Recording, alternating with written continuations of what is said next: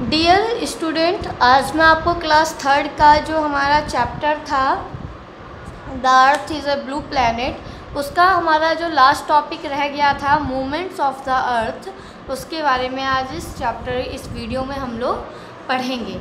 तो मूवमेंट क्या होता है? पहले हम थोड़ा सा समझ लेते हैं। जिस तरीके से एक एग्ज़ाम्पल के थ्रू, जिस तरीके से कि जैसे कि हमारे हाथ पैर, ठीक है? हमारी उंगलियाँ, हमारी आइज़ क्या करती हैं? मूवमेंट करती हैं, ठीक है?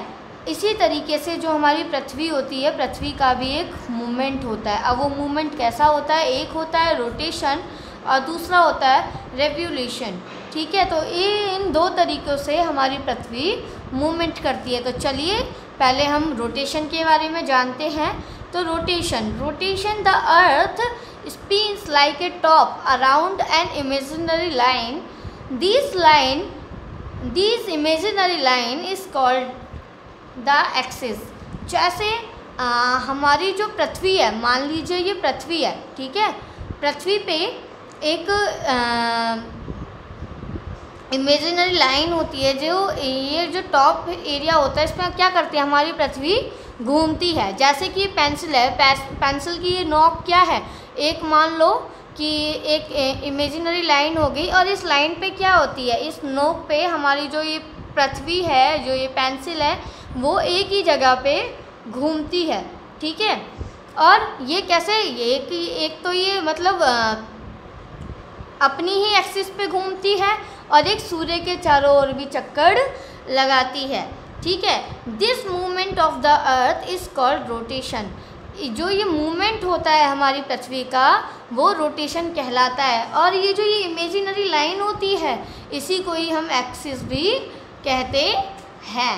ठीक है? It cause day and night rotation के कारण ही दिन और रात होते हैं। चलिए, पहले मैं आपको एक ग्लोब के माध्यम से ये समझा देती हूँ। मान लीजिए कि ये क्या हो गई ये इसकी एक, ये टॉप हो गया। जिस पे ये ये हमारी जो हो गई एक्सिस हो गई और जिस पे हमारी पृथ्वी क्या करती है, ये रोटेट करती है। मतलब उसका एक रोटेशन होता है, ठीक है? और जो ये पृथ्वी रोटेट करती है, ये वेस्ट से लेके ईस्ट की ओर करती है, ठीक है? वेस्ट टू ईस्ट करती है और जो इसका ये रोटेशन होता है, ये 24 फोर आवर्स में कंप्लीट वन रोटेशन होता है इसका, ठीक है? तो चलिए। तो आ, हमने ये पढ़ा कि रोटेशन के कारण ही डे नाइट होता है और जो आवर अर्थ हमारी जो पृथ्वी होती है वो रोटेस रोटेट करती है west to east it takes 24 four hour और one day to complete it one rotation और 24 फोर आवर जो एक दिन होता है उसमें ये अपना एक रोटेशन कंप्लीट करती है। चलिए अब हमारा नेक्स्ट है रेवोल्यूशन मूवमेंट में जो हमारा सेकंड है रेवोल्यूशन उसके बारे में पढ़ते हैं। हमारी पृथ्वी का जो सेकंड है आ, रिवोल्यूशन, इसका जो पृथ्वी का सेकंड मूवमेंट है, उसके बारे में पढ़ते हैं। तो while spinning on its axis वो earth also revolve around the sun जैसे हमारी पृथ्वी अपने एक्सिस पे रोटेट करती है, वैसे ही उसी प्रकार जो हमारी पृथ्वी होती है, वो एक्सिस पे रोटेट तो करती है, लेकिन रोटेट करती करते करते वो हमारी पृथ्वी के जो हमारा सूर्य सूर्य होता है, सूर्य के चारों ओर भी चक्कर लगाती है। आप इस पिक्चर के माध्यम से देख सकते हैं, जैसे पृथ्वी है, एक अपनी एक्सिस पे तो घूम ही रही है, लेकिन घूमते घूमते घूमते घूमते वो सन के भी चारों ओर चक्कर लगा रही है, ठीक है? ये जो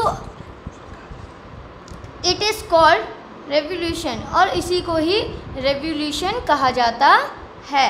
The earth take 365 one fourth days to complete one rotation around the sun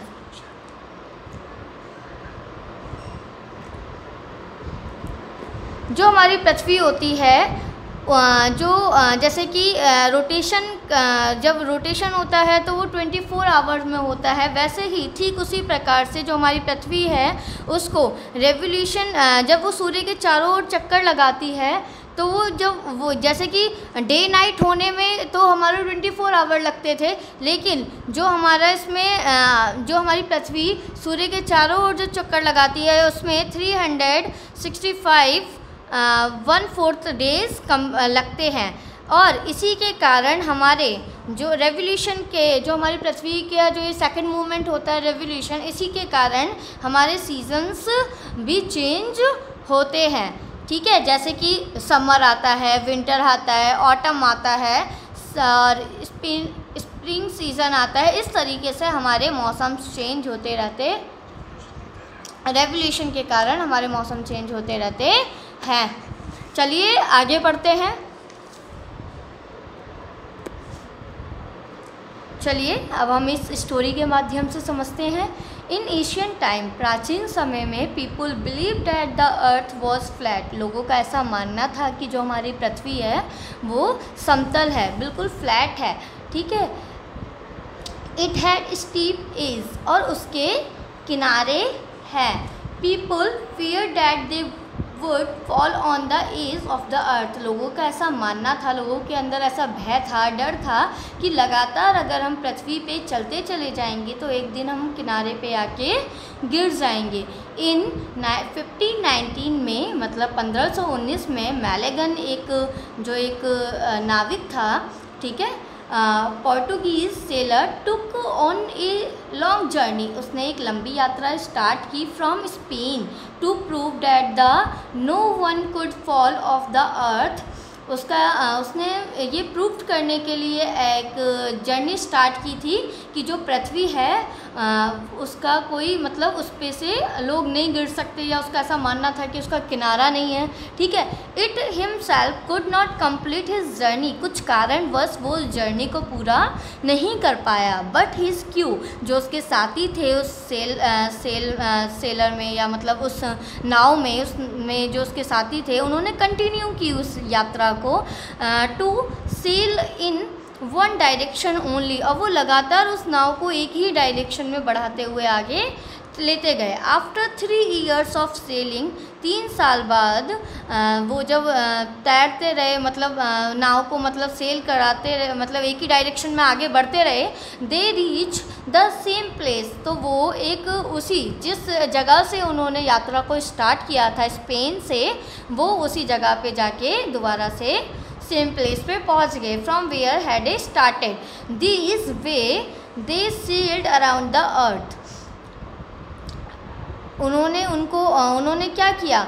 ये जो ये जो वे था उनका तो दे ये जो उन्होंने अराउंड उन्होंने पृथ्वी के चारों ओर चक्कर लगाया। इट प्रूव्ड उन्होंने ऐसा प्रूव्ड किया, जो ये नाविक था, उन्होंने ऐसा प्रूव्ड किया that the earth was around had a no पृथ्वी जो है, वो राउंड है और उसका कोई किनारा नहीं है।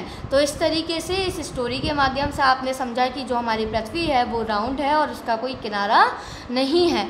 तो ये पृथ्वी ये जो हमारा एसएसटी का जो फ़र्स्ट चैप्टर है, ये कंप्लीट हो गया है और इसका वर्कशीट मैं आपको पीडीएफ के माध्यम से मैं आपको भेज दूँगी। Thank you